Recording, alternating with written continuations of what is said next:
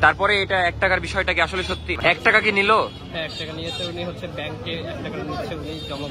কালকে রাতে আমি একটা পোস্ট দেখি যেখানে লেখা ছিল মাত্র এক টাকা ভিজিটে রোগী দেখা হয়। তো আমি ভাবছিলাম এটা কি আসলে সত্যি নাকি? তারপর লোকেশন দেখলাম রাজশাহী। তো ভাবলাম যেহেতু রাজশাহী যেয়ে দেখে আসি। আসসালামু আলাইকুম, আমি অর্ক। আজকের ভিডিওটা অনেক ইন্টারেস্টিং কারণ আজকের ভিডিওতে আপনাদেরকে এমন একটা জায়গা দেখাবো যেখানে এক টাকার বিনিময়ে রোগী দেখা হয়। আসলে বলতে গেলে এই যুগে এটা অসম্ভব কারণ এখন কোনো জায়গায় রোগী দেখাতে গেলে পাঁচশো, এক হাজার টাকা ভিজিট দিয়ে দেখাতে হয়, যেখানে এক টাকা ভিজিটে নাকি রোগী দেখায়। তো আমি এখন যাচ্ছি সেই জায়গাটাতে যেখানে এক টাকার বিনিময়ে রোগী দেখা হয়। তো আসলে বিষয়টা সত্যি কিনা ওইটাই দেখতে যাচ্ছি। আর যেই জায়গায় এক টাকার বিনিময়ে রোগী দেখা হয়, সেই জায়গার লোকেশন হলো রাজশাহী সাহেব বাজারের মণিচত্বরের শিবগঞ্জ সুইটস এর একদম পশ্চিম পাশেই। এই যে জায়গাটা দেখতে পাচ্ছেন, ভিড় হয়ে আছে, এটাই হলো সেই জায়গা যেখানে এক টাকার বিনিময়ে রোগী দেখা হয়। এখানে অনেক ভিড় আজকে, কেন সেটা একটু পরে বুঝতে পারব। আর এটা মেনলি উনার বাবার আগে ফার্মেসি ছিল, এখন উনি এখানে এক টাকার বিনিময়ে রোগী দেখবে।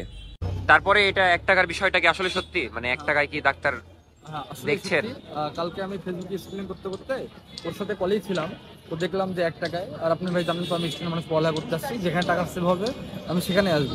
তো দেখা যাচ্ছে অন্যান্য ডাক্তার এদের ভিজিট হচ্ছে চার পাঁচশো টাকা এখানে এক টাকা। তো আপনার সমস্যা কি ছিল?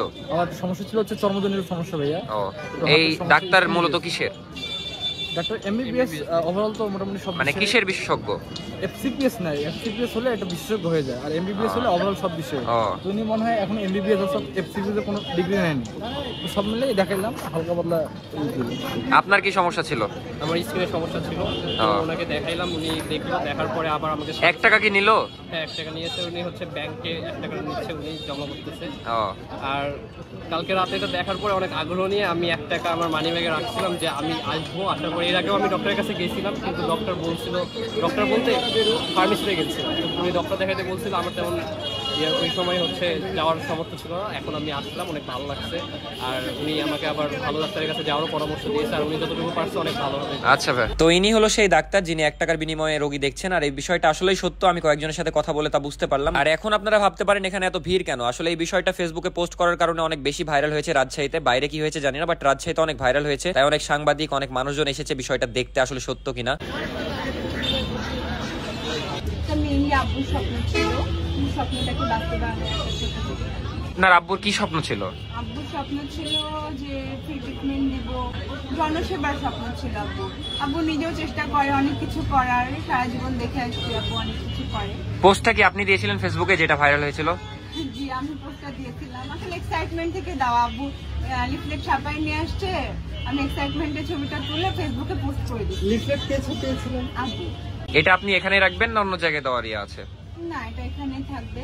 এই জায়গায় আমি যে সেবাটা দিব এটা সম্পূর্ণ মানে ফ্রি বলা চলে। এক টাকা তো কোনো টাকা না। ওটা আসলে এমনি নিচ্ছেন হ্যাঁ ওটা জাস্ট আমার অর্গানাইজেশনের জন্য না আমার একটা চ্যারিটি অর্গানাইজেশন আপু একটা প্রশ্ন ছিল আপনি কি রাজশাহীর? জি আমি আচ্ছা। আপনার আব্বুর দোকান ছিল আগে। দেন আপনি এখন এখানে ইয়া দিয়েছেন।